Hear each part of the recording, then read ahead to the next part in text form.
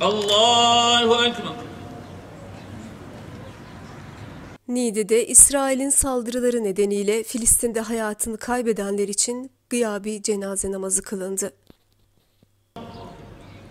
Esselamu aleyküm ve rahmetullah.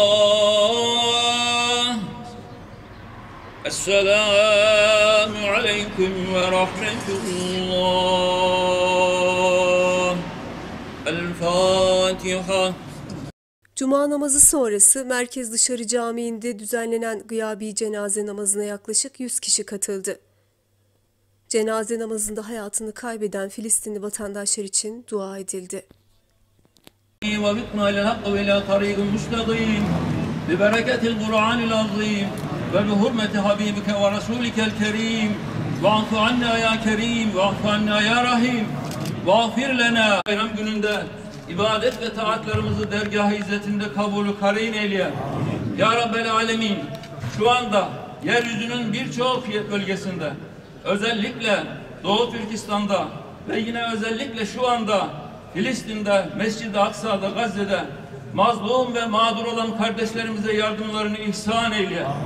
Ümmeti Muhammed'e birlik, beraberlik, dirlik ihsan eyle. Ümmeti Muhammed'in bir an önce gücünü, kuvvetini birleştirip bu Siyonistlere ve dünya müstekbirlerine karşı gücünü, kuvvetini göstererek onlara haddini bildirmeyi nasip-i müesser eyle.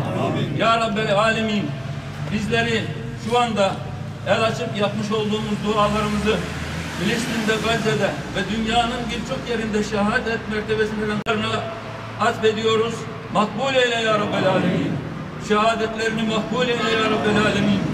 Onları cennet-i alanla ikram olunanlardan eyle ya Rabbel Alemin. Ya Rabbi bizleri de kendi yolunda daim eyle. Kaim eyle. Sırat-ı müstakimimizden bizi ayırma ya Rabbel Alemin. Ha